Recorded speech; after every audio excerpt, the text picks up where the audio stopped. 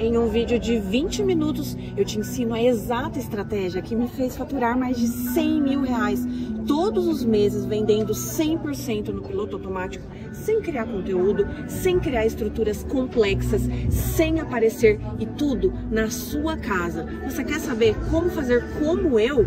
Então, clica aqui embaixo no botão e saiba mais. Como que você e o pequeno se conheceram? Cara, foi pelo Instagram. Na pandemia, ele morava em Nova York, eu em São Paulo. Mas ele é brasileiro. Ele é brasileiro, De onde? de Niterói. Hum. Só que morava lá 12, 13 anos. Nossa, tudo isso. O que, que ele fazia lá? Modelo. Ah, tá. ele- Ah, tá. Perdão, já falou, né? Desculpa. Falei? Não, você falou, ele é, ele é modelo. Eu falei, ah, tá. modelo. E aí eu postei uma foto que eu tava. Eu acho que a gente já tinha se visto naquele aplicativo Raya, sabe? Que é tipo um Tinder. Não. Ah, o Raya. Raya, que é do povo É. famoso. hum, Sei. eu acho que a gente já tinha se visto lá.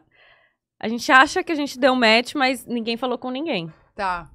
Aí, ok. Aí ele viu meu Instagram. Nesse dia eu tinha feito stories, eu tinha. Sei lá o que, que eu tinha comido. Eu tava com muitos gases e minha barriga tava muito, muito, muito inchada. E parecia realmente que tava grávida, tava inchadinha, assim. Uhum. E aí eu fiz uma foto no espelho, ainda forcei, fiz uma pose pra ficar mais redondinha ainda. Uhum. E fingi, tipo, ah, não sei quantas semanas vem Gaia. Na época que eu queria que a, que a minha filha chamasse Gaia. E aí ele respondeu com risada. E aí a gente começou a conversar daí. Nossa senhora. Foi assim. Foi assim. E quanto tempo vocês ficaram conversando pra depois se ver pessoalmente? Vocês nunca tinham se visto? Muitos meses. Aí ele veio. Isso foi em março, eu acho. Final de No, março. no começo, tipo, em 2020. Em 2020. Tá. A gente começou a se falar poucos dias antes de Nossa. dar o lockdown lá e o lockdown aqui.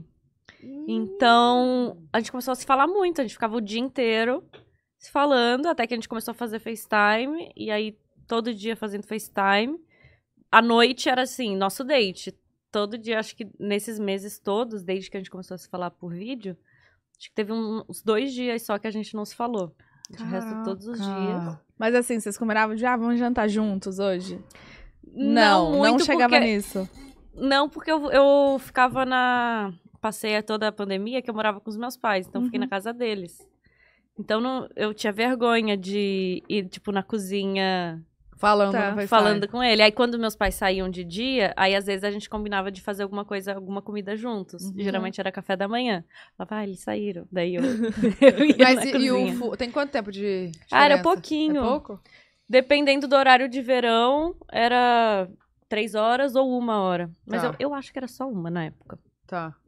E aí vocês ficavam se falando o, te- o dia inteiro. o dia inteiro, até que ele veio em novembro, já pra gente, se Gente. encontrar. Daí eu, eu que fui buscar ele no aeroporto e a gente não se desgrudou mais. Nossa, e você não tinha medo de, tipo, chegar pessoalmente e não O medo era de não encaixar, né? É. Mas daí a gente conversava, a gente, cara, se não encaixar, a gente vai ter que ser sincero e treinar pra encaixar, né? Mamãe encaixou E tão tentar. bem.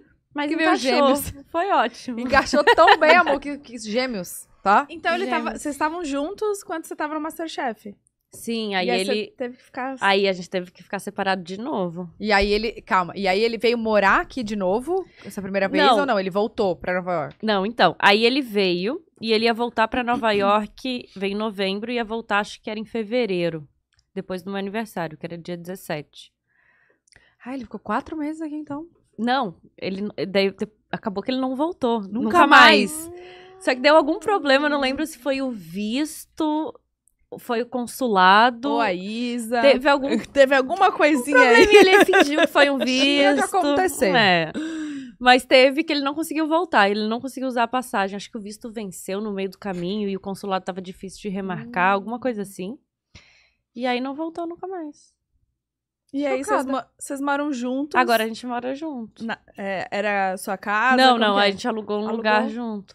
E aí aqui em São Paulo, porque ele, Aqui ele morava no. Rio. É. Não, é. Eu morar pro Rio ia ser difícil. A gente teve várias conversas, aí a gente resolveu testar aqui pra depois testar no Rio.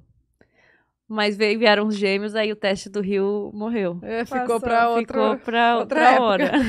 E sua família mora Aqui. aqui também. Aqui também. Tá, e vocês moram em ap- apartamento. Apartamento. E, e quando vocês foram morar juntos, você já tava grávida ou não? Não, a gente começou a morar. Assim, eu saí do Masterchef. Ele, lá durante o confinamento, ele já começou a ver apartamento. Só que foi muito difícil de achar um que os dois gostassem. E esse que a gente mora, eu tinha gostado muito. Ele tinha feito. Foi o único que eu consegui no horário estar no quarto e fazer a visita por FaceTime com ele. E eu tinha amado esse. E ele não gostava desse. É- Ele é super estiloso, esse AP, né? É tipo, lindo. o quarto onde vocês dormem é muito bonito. É, ele é todo. Diferentão. é, Bem... Tá, e aí esse foi o único que você conseguiu. Ele já veio ver. decorado, assim. Sério? Não, não veio decorado, mas o jeito que ele é. Já era já assim. Já é tá. meio. Mais fácil, assim, né?